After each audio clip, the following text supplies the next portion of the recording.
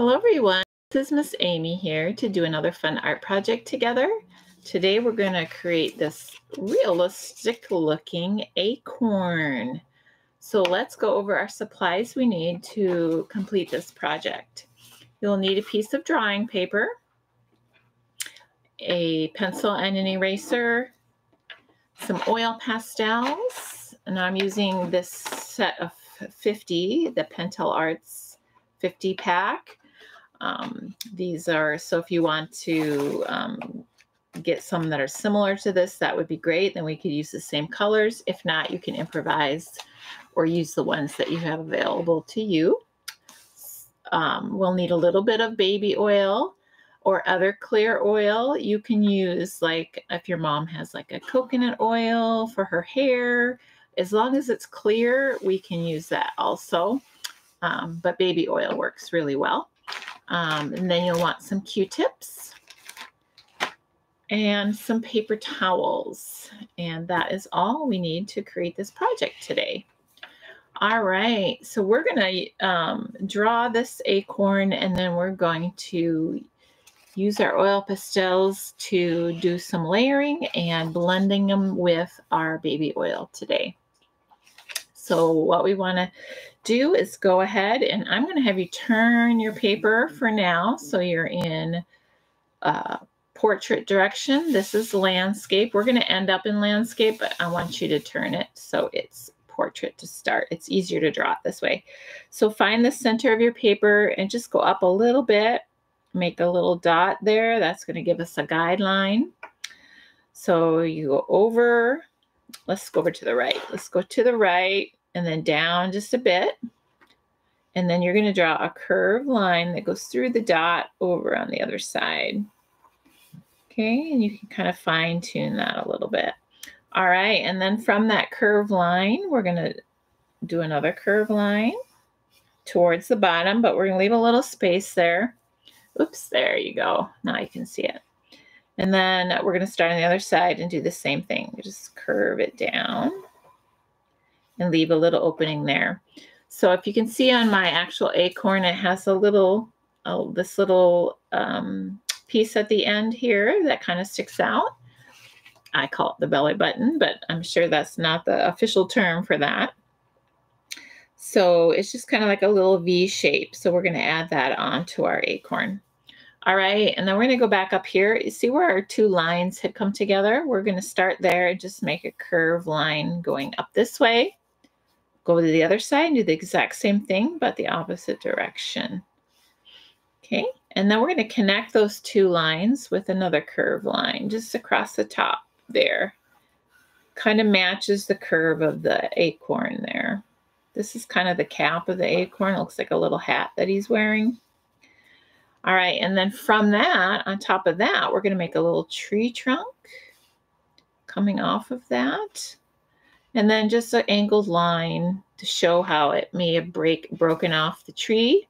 That's a little stem. Now you can erase the dot. You can erase any lines right now that you don't want in your drawing. Um, this is a good time to do that before we start adding the oil pastels. So do make any adjustments you need to make.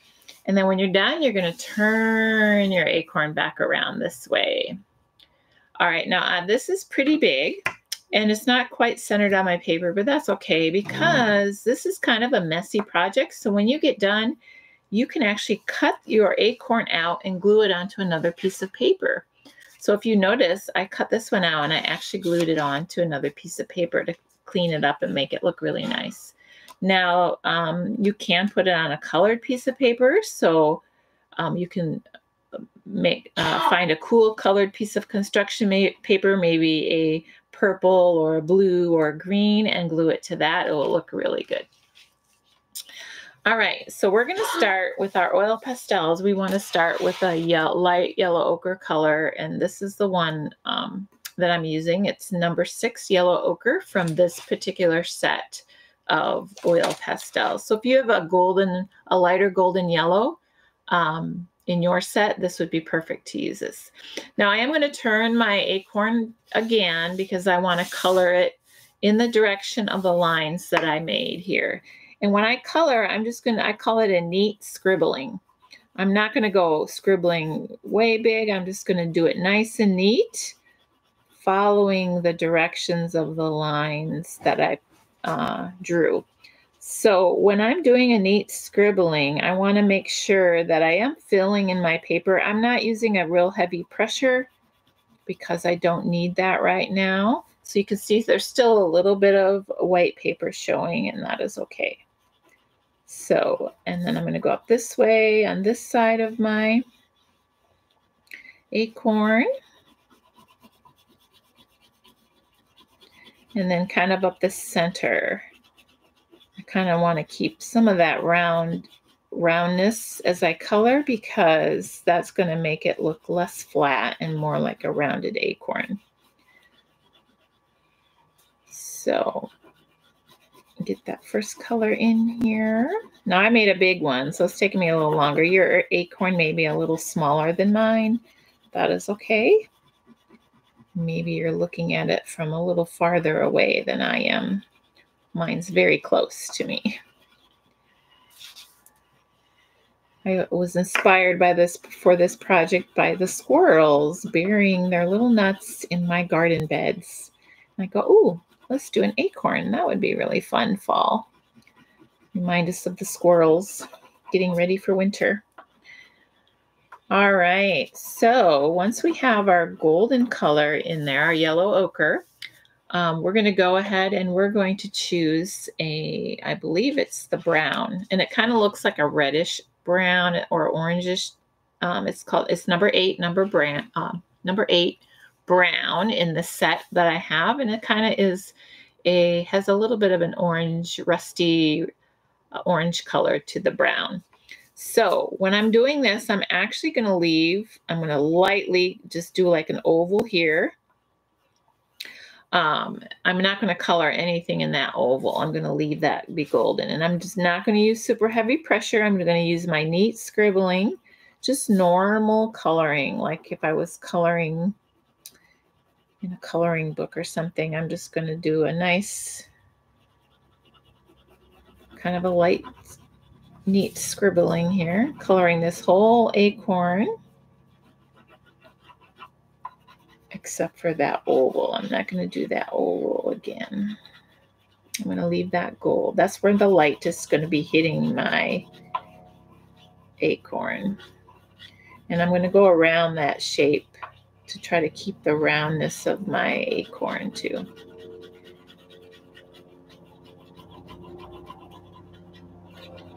Okay. So once we have this color on, you're going to pick out a darker reddish brown color. There's several to choose in this pack.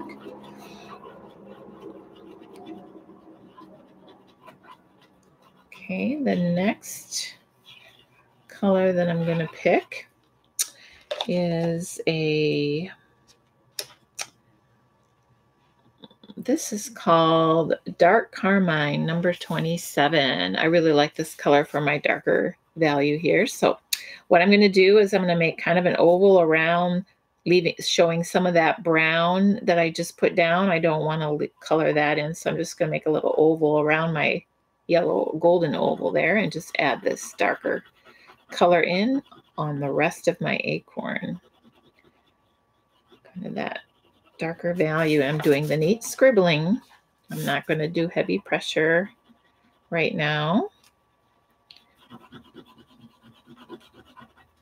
Color all around this. Still kind of following the shape of my lines there to give that round look to my acorn. All right, once you have all of these three colors on your acorn, you're gonna we're gonna blend them now. Okay, so I'm gonna actually turn it around a little bit and blend it with my um, baby oil now. So I'm gonna go ahead and grab some Q-tips out of my bag there and just dip, a, dip them in and wipe off the extra. I don't want it too dripping to really um, get a ton of oil on there. I just want to lightly Put some oil. Now I'm rubbing a little bit harder than I was coloring because I want to use a little bit of pressure and that's going to make that oil pastel blend really nicely. Oil dissolves oil, so that's why the uh, oil pastels blend so well with baby oil or any other clear oil. So I'm kind of blending the edge. So I'm starting with my gold and I'm going ahead and using the same Q-tip and blending the edge there. Okay, because I don't want it to be a harsh line of gold to my brown.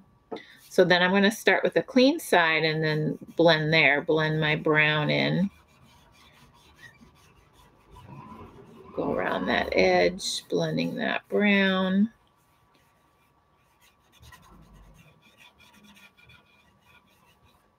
And then I'm going to blend right into that darker color, that dark reddish brown that I put down.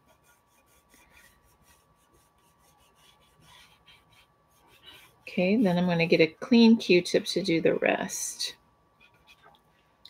Set that aside. This is always fun to see the oil pastels transform.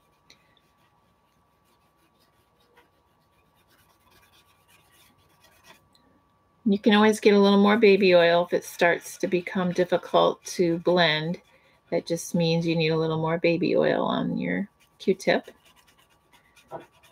You could probably blend this with a cotton ball if you don't have Q-tips. You could use a little cotton ball and blend. That would probably work fine also. Okay, now once you've got it all blended, um, it's still a little wet and I don't want that wetness on there because I do want to put some more layers on my um, acorn. So I'm going to wrap the paper towel around my finger and use my finger to kind of blend just a little bit more. I want to blend that and it soaks up the extra oil. Blend around my circle there. You can blend the gold. See how it kind of blends together and it kind of gets rid of that line. So now I'm going to go ahead and get a clean part of my paper towel to blend this darker area here. Following the same direction that I drew, and I am using a little bit of a heavy pressure. Okay, because I want it to blend a little bit more. There, there's the first layer. Now you can start to see that roundness and the value, the lighter color here, and it gets darker, but you know, I kind of, it's very similar. So I do want to darken that up a bit. So I'm going to go back to my red and I'm going to add just a little bit of dark. Um, I'm going to add a dark along this where it connects to the cap. A little bit of a heavier pressure there and the same along the bottom here. See how I'm starting to get a little messy on my around my acorn? That's why we're gonna you can cut it out later and glue it onto a new piece and it'll clean it up really nicely. So I'm only adding a little dark. I'm not going to go all the way because I like that transition.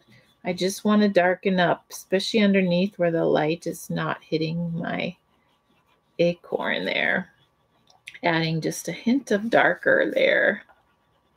Okay, and filling that in really nicely. Okay, so let me grab a Q-tip. Let's get a clean one here.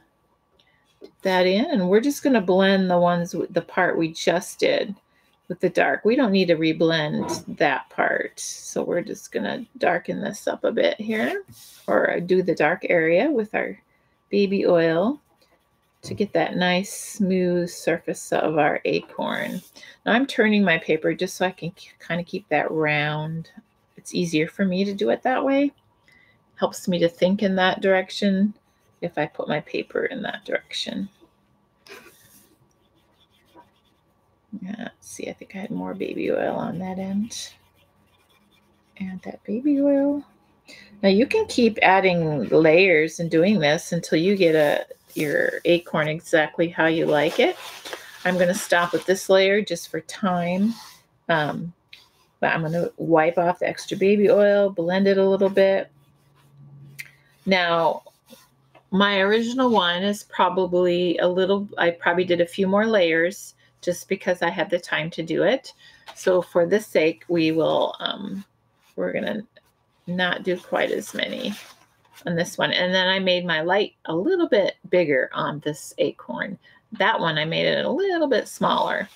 So you can actually go over it again with your yellow ochre if you need to, adding in just that little light reflection. You can actually take a little bit of white too if you need to and do some a little bit of white over the top of that just to lighten it up a bit. That works also. And you can then take a Q-tip and, um, oops, that's a dirty one. I'll use the clean side. Blend that a little bit. So that's all blended. And so you can lighten that up. So you can play around with it and go ahead and add some more layers and just make sure to blend with the baby oil after each layer and then blend, um, use your paper towel to wipe up any extra. All right, so now we're going to work on the cap here, and I'm using um, number 46 yellow gray. So what I'm going to do is just start out with my light, my um, neat scribbling to fill in that cap, going in the direction that I drew my lines.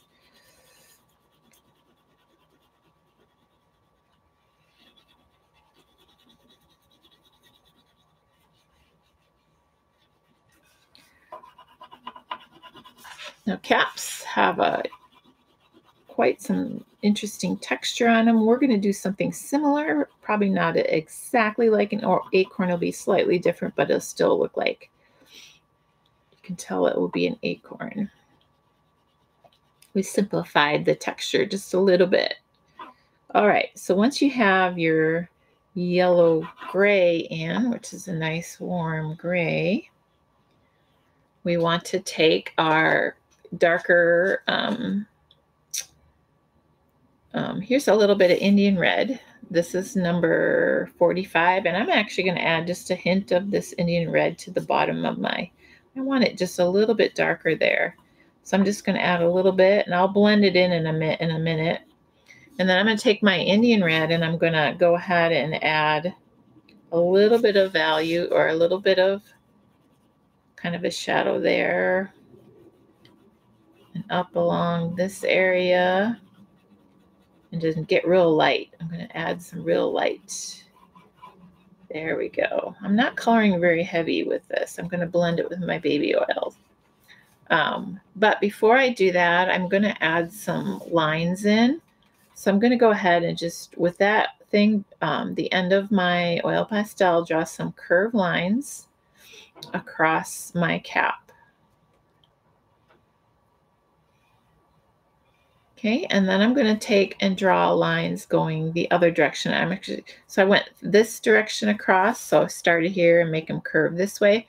Then I'm going to start on um, this side and curve them almost the same way, but curve, starting on the other side of my paper.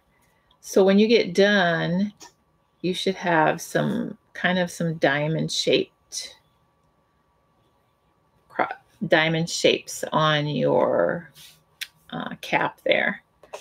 All right, so what I'm going to do next is blend in the oil pastel. So I'm going to go ahead and blend this for, that I did here. Darken that up with my a little bit of Indian red. Just wanted that just a hint darker.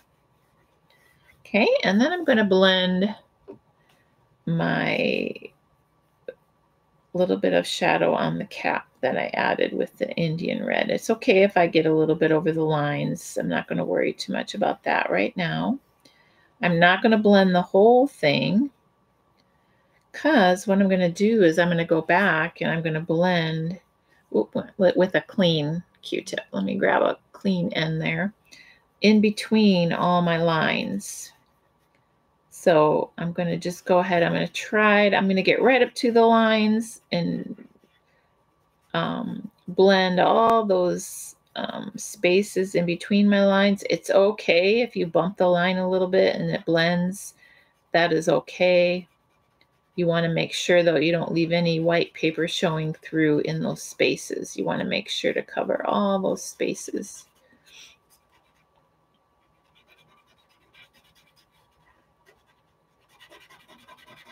Uh, let me get a clean Q-tip. There we go. There we go.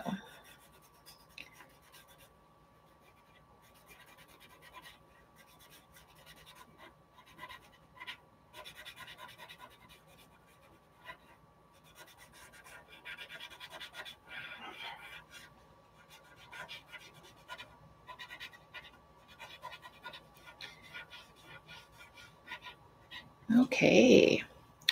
then I'm going to go ahead and just blend that edge out a little bit more so there's not a sharp line. There's just a gradual change. Then I'm going to use a clean paper towel and go ahead and blend that edge there just a little bit. And then I'm going to clean up the uh, my cap just by blending those spaces, trying to get between the lines and trying not to touch the lines too much. It's okay if you do a little bit because um, it's showing a hint of texture without dramatic texture. We just want a little bit of texture showing there. All right, it's looking good. then we're going to do the stem. We're going to take a brown, and it says um, Van Dyke Brown, number nine, and I'm just going to color it normal coloring just for my little stem there.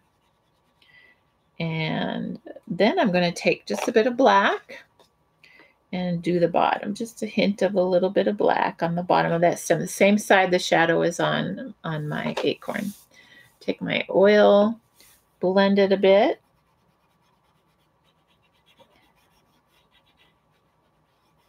Okay.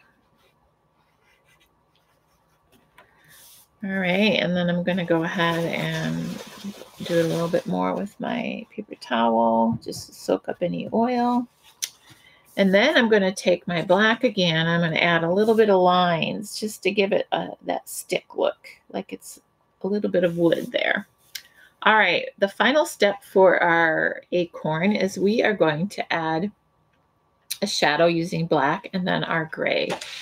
So I'm going to start with black and on the bottom side, I'm just going to kind of make, start coloring right next to my acorn and I'm using a little bit heavier pressure.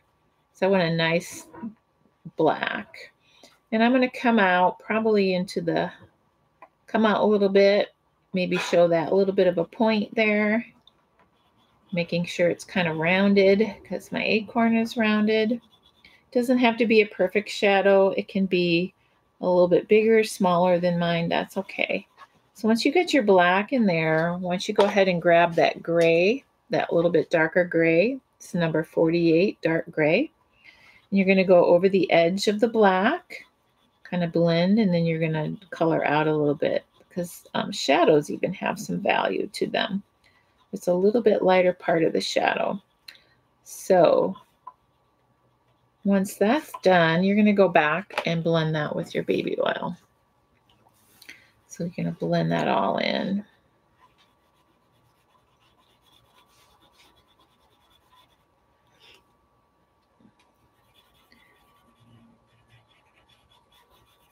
There. And I'm going to use a clean one for the gray because I don't want it to turn into black. I just want it to blend on the edge. And then I can smooth my edges a little bit too. And plus, if you cut them out, that'll help a lot too. That'll blend your edges really nicely. All right, then I'm going to get a paper towel and use my paper towel to kind of blend and soak up that extra baby oil. Okay, now you have a nice um, acorn with shadow. And what I would recommend is cutting this out and that'll get rid of all the smudges. And then take that and glue that to another piece of paper and you'll have a beautiful acorn. So thank you so much for joining me for this fun project today. Um, I'd love to see a picture of your finished acorn. Feel free to send me one. Thank you and have a wonderful day. Bye-bye.